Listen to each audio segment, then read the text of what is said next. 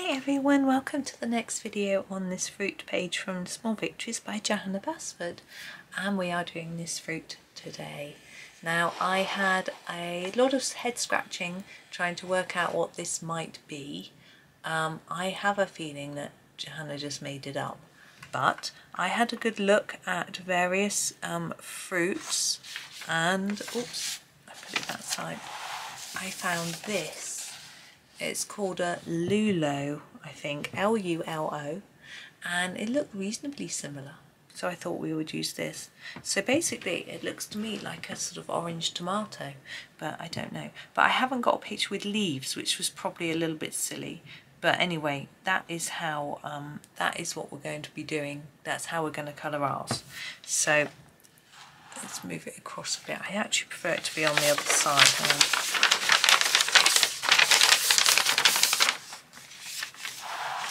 There we go. That's better. It doesn't get in the way of my hand, although it does decide to. there we go. So there it is. So I'm thinking if we start with a slightly paler colour and then work up to that orange, um, I'm thinking probably the palest colour might be this one, which is the 108. It is the dark cadmium yellow and I'm going to put a light layer. Now I don't know what these are so I'm going to ignore them.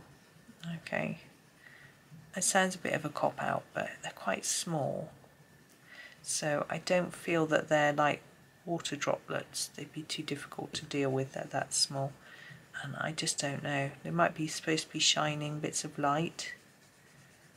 Hmm. Well, we'll find out, won't we? Maybe we can ask Johanna what they are when she does her colouring school. Okay, so now I'm just going to go to the next colour. Simply go to the dark chrome yellow and you can see we're going already getting a bit orangey. Oop, there we go. And as from the picture you can see it's much darker at the bottom. That's what we're going to do here. So I'm going to start at the bottom here and then just gently layer up. Now remember, although that is the centre of our fruit, the light, if it's coming down here, this is going to be the lightest bit. So that's what I'm going to be working with. These two are a little bit straighter, so it makes it a little bit easier. And when you're doing something like this it can be just easier to work through your colours in order not missing any out and then you can get a more you get a smoother transition between colours. So I'm going to go to the first orange that we have which is the it's the cadmium orange is that right? Yes. The cadmium orange we don't have a light one was just questioning myself. I think it's the um, castles that have a light cadmium orange. I'm lucky enough to have so many sets. Get a little bit mixed up. So putting more down here at the bottom and making sure I'm not pressing hard because I want might put down a couple more colours, maybe one, maybe two. So I need some room to be able to do that. Now if you're using a pencil that isn't very see-through, you could more easily cover these. It wouldn't necessarily show through, or if you're using a pen, but they'll show, but you know, it is what it is. Here is the orange glaze. I don't mind um, that we're not covering up Johanna's work anyway. I think this might be my final colour. It goes quite red here, but I don't know if I want to go that dark.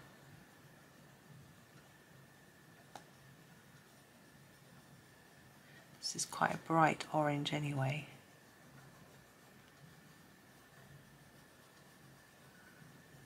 It's looking rather pretty.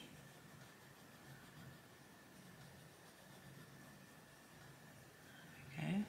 I actually can do another layer of this orange. This is going to be my last um, colour actually.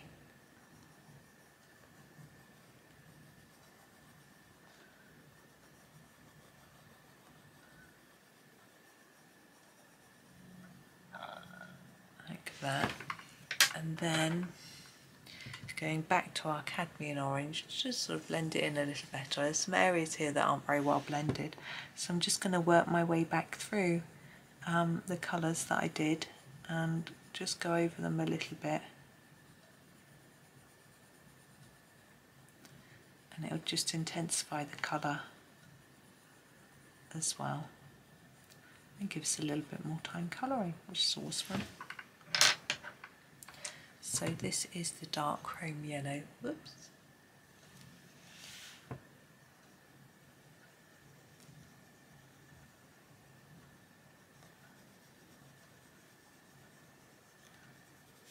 I'm looking at the stem while I'm colouring this, which is probably not a good idea. And trying to work out what colour it is. The one down here has definitely got some green in. The one over here looks quite brown. So I'm not sure. Let's just go really square. There we go. And the last one is dark cadmium yellow. And I'm just going to just go over that bit a bit more so it looks a bit more intense. I don't think it needs to look white It can look yellow. There we go. I look okay. Now our leaves, as I say, I've been looking to see, I think they look quite dull, quite brownish. So I'm going to actually use the um, olive green yellowish, which is our very browny green. Um, see, these they don't look like this. Look, they don't look like that, but you know.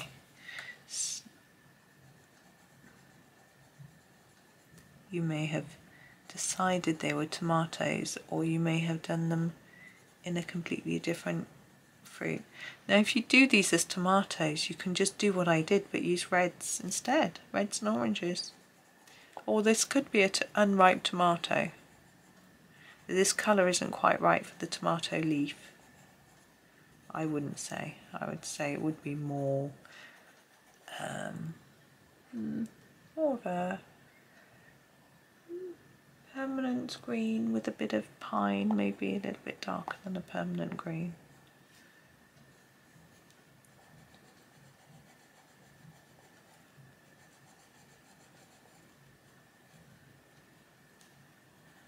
Sounds like someone's watching a TV next door.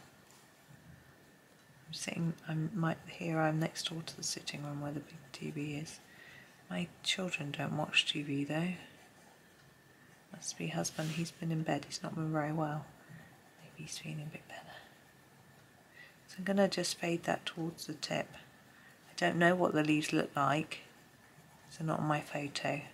If I was sitting at my desk, I would go and have a look and, and I would search for lulo on tree or bush and uh, try and find a photo. But as we don't have one, I'm just putting it a bit darker at the base of the leaf, which is probably wrong because the light is coming from above. That one would be darker at the bottom. So I'm just going to swap that. I'm going to just use my eraser to take off a little bit from the top there. There we go. And then for these, like we did for our grapes yesterday. They're a bit darker here and lighter towards the top of the leaf. I might only use this colour though. I certainly won't add another green because I want it to look quite brownish. I might add a bit of brown actually.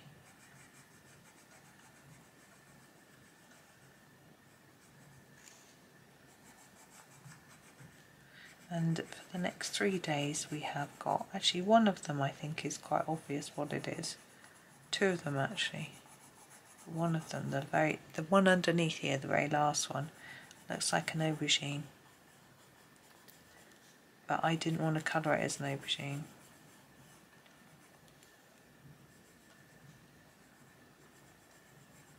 So uh, I found something else Okay, I am just going to grab a bit of brown. Um, what should we get?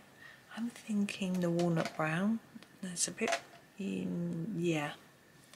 No, changing my mind. I'm going to go for the dark sepia. I want one that isn't too reddish. And I'm going to add this to the twigs. I'm just going to put a little bit on top of what I've done to make them maybe look a little bit more woody. And then I'm just going to use it on the base, the darker bits of the leaf a little bit, just to darken them up a bit more.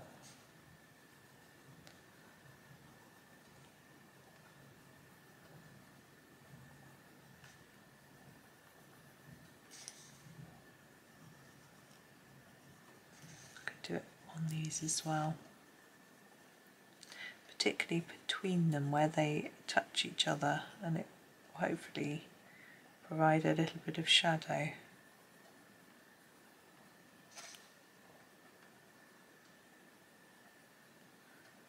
Hmm. It's not too bad, is it? Yeah, I'm sorry I didn't know what to do with the leaves. Um, yeah, next time I need to look it up. But, uh, there we go. There is our I think that's straight. They're at an angle, aren't they? There is our lulo. It's, a bit different, isn't it? And it shows one cut in the picture, which is quite interesting. Oops. Oh, you got a clue as to what I'm doing for the others. Did you see it? Um, they look like tomatoes with those sort of dark seeds. Anyway, and that is me done for today. I'm not sure we were very long really but um, I'm quite happy with how it looks. Um, oh, actually, oh, I dropped my pencil. I've got my dark sepia here. I'm just going to put it in here because they're overlapping, aren't they? They need a bit of shadow. There, that's better. It's amazing what a few strokes of pencil can do to a picture, isn't it? There we go. But now we are done. So thank you for watching. Please do like, subscribe and comment. It's really appreciated when you do that. Thank you to everyone that does already and come back tomorrow for the next one. But for now, have a super day and happy colouring.